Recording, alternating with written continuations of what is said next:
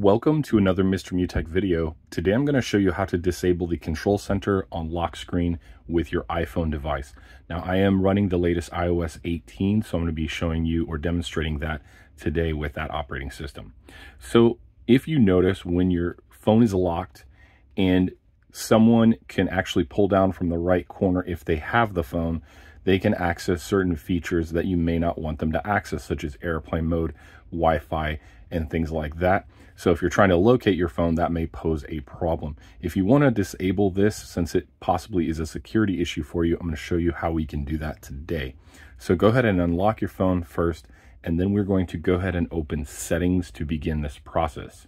Once we tap on settings, we're then going to go ahead and scroll down until we see the option for Face ID and passcode go ahead and select that and then type in your passcode or use Face ID to unlock the next screen.